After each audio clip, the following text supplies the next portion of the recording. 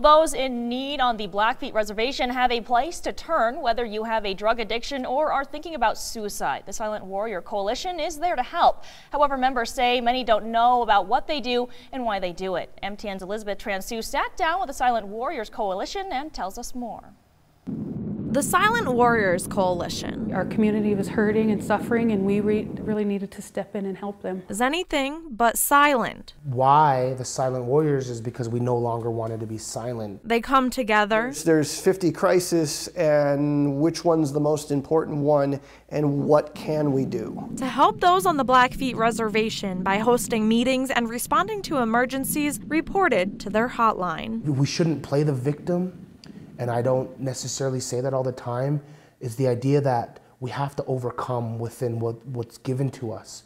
We have to be strong enough to be able to pull ourselves out. So, whether it's drugs and alcohol, suicide, missing and murdered Indigenous people, their mission is to stop these epidemics. I don't see how you could categorize it any other way. It's, it's a severe problem here in town. Most, most if not all, the people uh, that I, I regularly interact with uh, are affected in some way by uh, drug use, if not themselves, then a family member, or someone they're very close to. For most, it hits close to home. Mostly everybody I know has a problem with drugs or alcohol. There's not a day that goes by that a helicopter don't fly by and I'm thinking in my mind, you know, who's that? Who, who are we sending away today? We all know each other. Could be my brother, could be my sister, one of my kids, my neighbor.